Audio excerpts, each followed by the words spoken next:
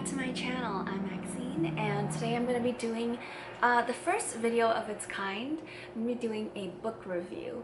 Um, this is a book that I've mentioned in the past before as a book that I found really helpful so I just thought I would sum it up for you guys and um, I guess do a little book review. My friend Zita um, also suggested this idea. Thank you for the suggestion. Um, it is rather hot today. The fan is right under the camera so if you hear any ambient fan noises, that's what it is. Anyway, so this is the book I'm going to be reviewing. It's Skin Cleanse by Adina Grigore. First things first, um, who is Adina Grigore? She is the owner and founder of SW Basics, a natural skincare line. You can find this skincare line at Target. I think they started selling it a few years ago. Also, she has a background as a nutritionist and a personal trainer. This book overall is about how to take care of your skin or how to sort of maximize your skin's potential through um, basically diet and topical stuff. She really takes a holistic view of skincare, sort of like you are what you eat from the inside out kind of thing. And generally the tone of the book and um, the message of the book really reminded me a lot of what my mom has been telling me for the past at least a few years that your skin is equipped to heal itself and to take care of itself. Um, you don't have to slather on 15 different products every day to um, sort of help it along. So in the very beginning of the book, Adina talks about her own history with skincare issues. She said for many years she had issues with migraines, breakouts, and rashes. She really tried anything and everything under the sun to sort of fix the issues. One day she decided just to cut everything out. So she stopped using all her skincare products. She basically went cold turkey on all her skincare products, bath products and everything. And then she saw pretty much immediate results according to her. Um, her symptoms went away and then from there she rebuilt um, her skincare routine.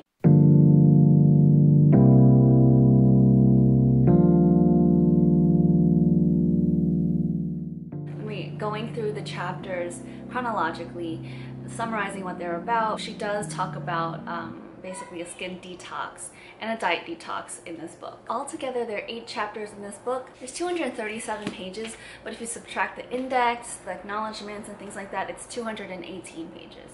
So pretty much a very, very easy to read, engaging, um, quick read basically and very informational. Chapter 1 is called Your Amazing Skin. In this first chapter she outlines the science of your skin, the different layers, she defines some terms, and ultimately she reminds you that your skin is also an organ just like your kidney and your liver and we have to treat it as such. You know your body best and everyone is different so you should um, sort of customize the advice that she gives in this book.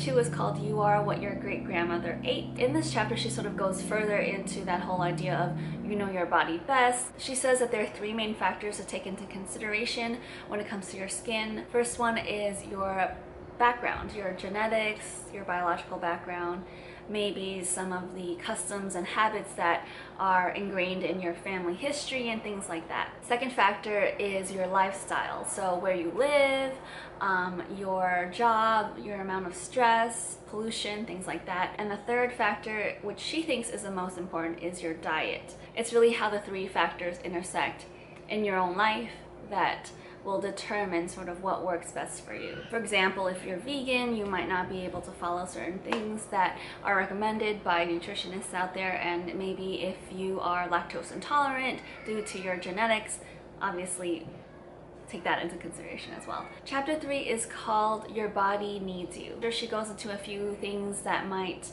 damage your skin. She talks about hormonal imbalance, inflammation, glycation, and free radicals. Hormonal imbalance and inflammation are kind of self-explanatory. We know quite a bit about it. And as a lot of us know now, free radicals are unpaired electrons that don't know what to do with themselves because they don't have a match. So they cause a lot of cellular damage. And she says to eat more vitamins like vitamin C and E and beta carotene to combat free radicals.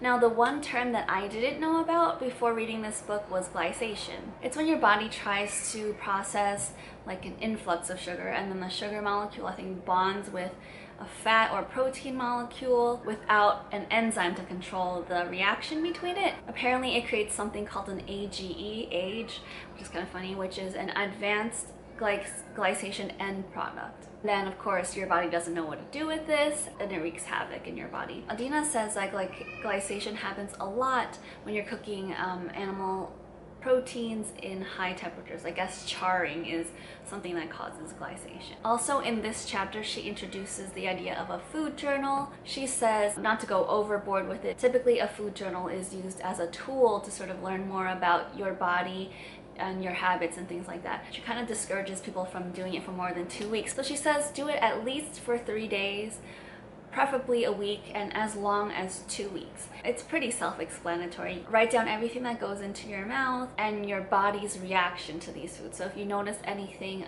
unusual, like maybe a pimple or stomach pains or something, make a note. And then she says to look for patterns. Of course, if you notice that eating dairy is causing you to have pimples, that's probably something that you should be cutting out. Any behavior that occurs more often than you would like, maybe alcohol or a lot of carbs or something, that she says is also a red flag. From this food journal, she encourages an elimination diet. So any of the foods that you think cause any symptoms or anything like that, you should eliminate from your diet and then one by one reintroduce them. As you're reintroducing them, wait three to four days and then reintroduce another one. So you're really doing it quite slowly so you can figure out what exactly is causing your symptoms. And then she says if you do eliminate any particular foods, you should find a replacement so you're not craving it or missing it a lot. It's also in this chapter that she says that cheese and dairy products really cause a lot of trouble for people. It is an ultimate culprit for pimples and acne and things things like that. I mean, I've heard that before and I just, I, I believe it maybe, but I think I'm gonna choose to ignore that advice personally speaking. And chapter four is called Eat Like Your Skin Depends on It. She basically goes into detail about what foods are great for your body, what foods are terrible for your body, and then she makes lists for each category. It's it's pretty well-known knowledge if you are any in any way like a health nut or if you read any like health magazines. Basically, Greens are great for you. Healthy fats like coconut oil and olive oil. She says use full fat butter, organic. She stresses that organic foods are really really better for you, um, especially if you're going to be eating the peel of the fruit. She also stresses that fat is absolutely necessary to maintaining a healthy diet. A lot of people will cut all fat out and she says that that's not a good idea. Your body needs fat. Bad foods very self-explanatory. Processed or packaged foods are her like biggest one that she she says do not touch. She says something that I don't know if I agree with. She says you shouldn't be eating meat more than twice a week. Um, eh,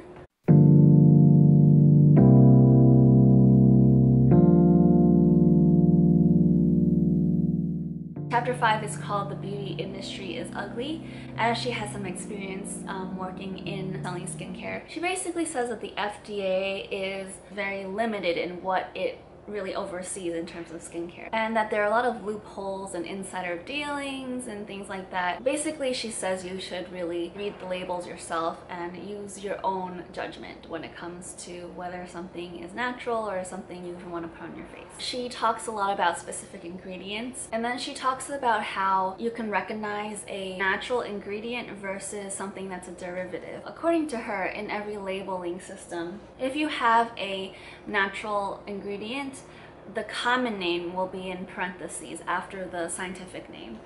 So you can see if it's um, like seaweed or something, it's gonna say seaweed.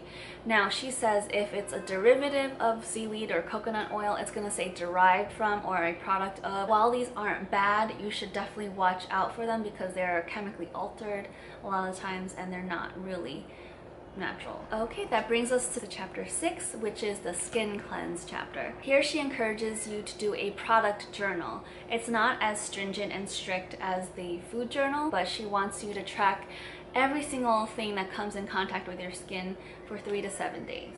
Anything, including pets, hand sanitizer, everything. Dish soap, everything. And then she wants you to just write down any reactions or symptoms you have to anything and look for patterns again. She has sort of instructions for um, a three-step skin cleanse, like level one for someone who really isn't into it too much, and then um, level three for someone who really wants to get to the bottom of their skincare issues. Level one should be about three days and try to use all natural things on your face and maybe your body if you have body skin issues. And then she encourages you to use some of the recipes that she includes her, in her book, which I think is probably one of the highlights of her book. She does include quite a few recipes here. It's like a whole, I would say about 30 to 40 pages of recipes. And then she has some like food cooking recipes in the food section of the book. Level two is just one day. Absolutely don't use any makeup and or any facial products at all. No face wash, no moisturizer, no toner. She just tells you to wash your face with plain water. Level three is anywhere from three days to two weeks where you're not using any products on your skin, including your body. No body wash, no soap. I don't know. It sounds intense to me. She said if you have to wash, use Castile soap. And then level four is returning to your daily routine. Unlike the food elimination diet, she doesn't sort of tell you to reintroduce products one at a time. She kind of assumes that you're gonna know what products don't work for your skin by that point. And then one interesting thing that she says that I had always wondered about is she says there's no such thing as basically like a purging period. Um, if your skin doesn't like it to start with, then it's never gonna like it. So that was an interesting tidbit.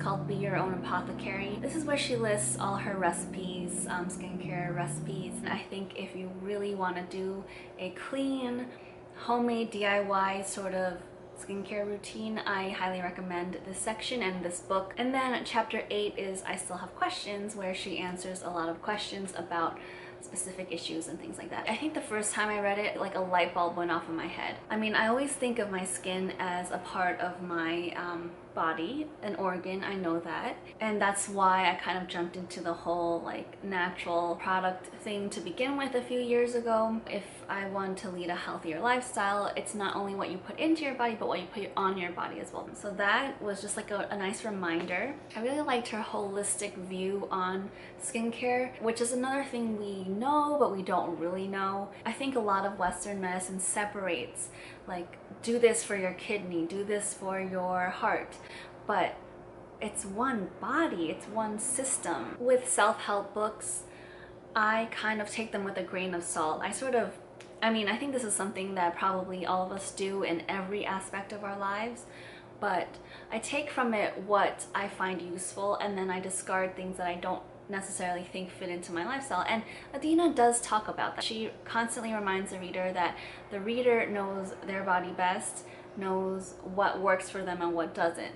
So these are just tips to help you sort of figure out faster maybe some things that aren't working for you, but ultimately you do you. Another thing that she talks about in this book um, in passing is marketing and the beauty industry. Her view is that there really isn't such a thing as combination skin or normal skin or dry skin or oily skin.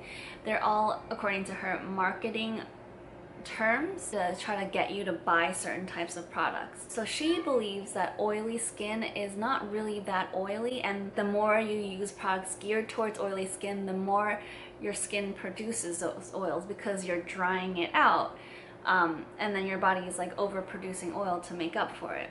I kind of believe that. I do believe that the skin is um, built to heal itself in many ways and to take care of itself. All these topical treatments that we're putting on our skin to sort of use as a quick fix um, Adina is basically trying to say that's not the solution and the solution comes from the inside out, which I think all of us kind of know, but we don't necessarily follow because we buy into the marketing. Ultimately, what do I think about this book? I think this is a fantastic reference book, especially if you want to have something handy that's relatively small that um, outlines what foods you should be eating more of, um, what the nutrients these foods provide, recipes for um, drinks and snacks and foods, and like 30 plus pages of skincare recipes. I think anyone who's interested in a healthier lifestyle, especially when it comes to your skin, this is a great read for every person who's interested in that. Some of the Amazon reviews said that she doesn't really say anything new. No, if you're really well versed in this kind of stuff already, it's not going to be new. Good self-help books, I feel, present information I already know in the back of my mind in an easy to follow way so that I can sort of, you know, incorporate those tips and, and, and ideas into my everyday life. This isn't really that much about eating, even though she talks a lot about how your diet influences your skin and your health, it's not really a clean eating book. So it's, it's one chapter devoted to diet um, I would look into purchasing or reading a separate clean eating book if that's what you're looking for. Alright, I hope this video was helpful. If you've read it, let me know what you thought of the book. Let me know what you think about book reviews and if there are any books you want me to read and review. Otherwise, thanks for watching and for subscribing and I'll see you next time.